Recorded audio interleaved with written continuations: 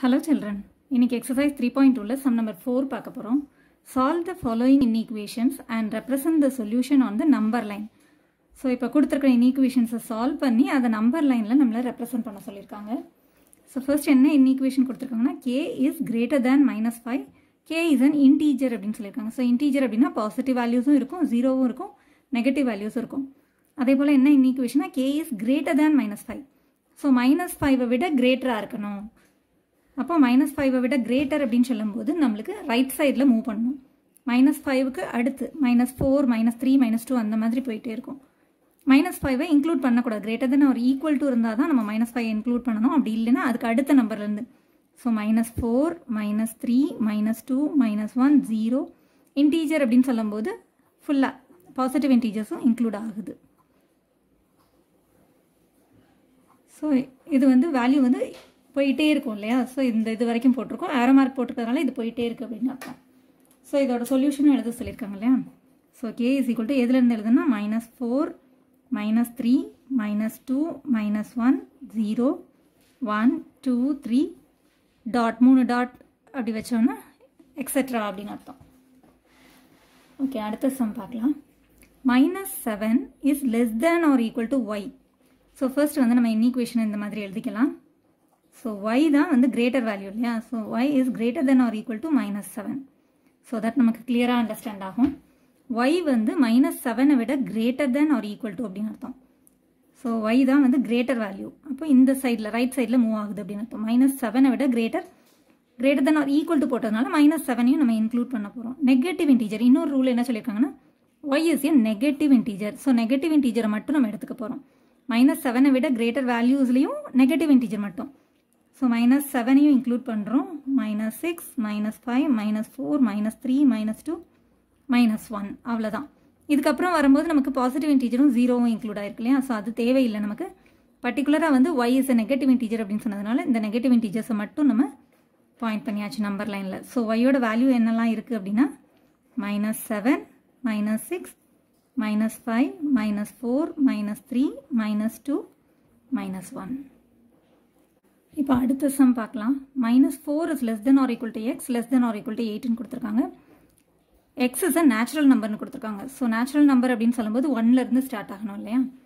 So இப்போ இந்த கொடுத்துருக்குற இன்இக்வேஷன் படி மைனஸ் ஃபோர் ஃபோரை விட எக்ஸ் வந்து கிரேட்டராக இருக்குது எயிட்டை விட லெஸ்ஸாக இருக்குது அப்படின்னு அர்த்தம்.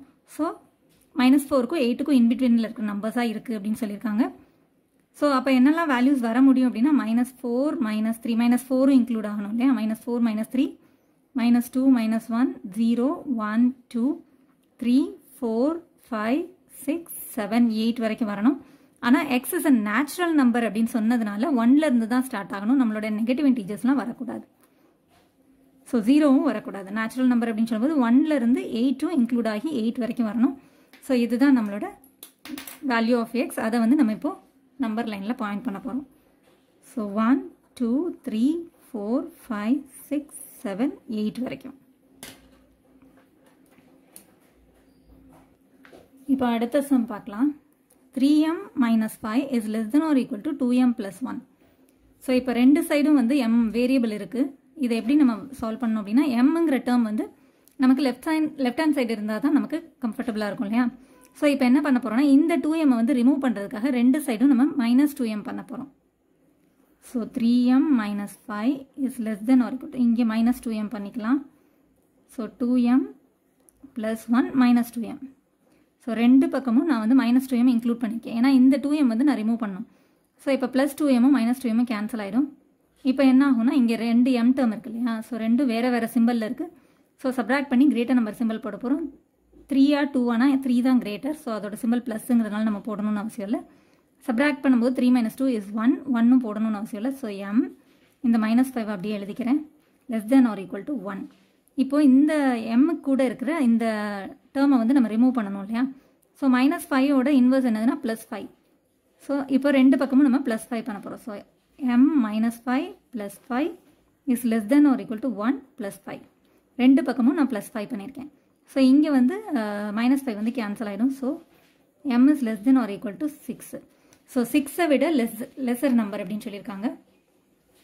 ஸோ அப்போ எம்மோட வேல்யூ என்னெல்லாம் வரும் அப்படின்னா சிக்ஸை விட less then or equal to அப்படின்னு சொல்லும்போது சிக்ஸும் இன்க்ளூட் ஆகும். Six six five four three two one zero minus one minus two அப்படின்னு போயிட்டே இருக்கும் இல்லையா? ஸோ எம்எஸ் அண்ட் இன்டீஜர்னு கொடுத்துருக்கறதுனால பாசிட்டிவ் வேல்யூஸ் நெகட்டிவ் வேல்யூஸ் ரெண்டுமே வரும். சிக்ஸ் இன்க்ளூட் ஆகிருக்கு ஸோ சிக்ஸ்லேருந்து பேக்கில் சிக்ஸை விட கம்மின்னு சொல்லியிருக்காங்களே எம் வந்து சிக்ஸை விட லெஸர் நம்பர் அப்படின்னு சொல்லும்போது நம்மளுக்கு லெஃப்ட் ஹேண்ட் சைடு மூவ் பண்ணோம். So six five four three two one zero minus one minus two minus three இந்த மாதிரி இன்னும் போயிட்டே இருக்குது ஸோ ஆரோ மார்க் போட்டிருக்கோம் அப்படின்னாலே இன்னும் போயிட்டே இருக்குன்னு அர்த்தம். ஸோ இது வரைக்கும் நம்ம ரெப்ரசன்ட் பண்ணியாச்சு. தட்ஸ் ஆல் தேங்க்ஸ் ஃபார் வாட்சிங் சில்ட்ரன்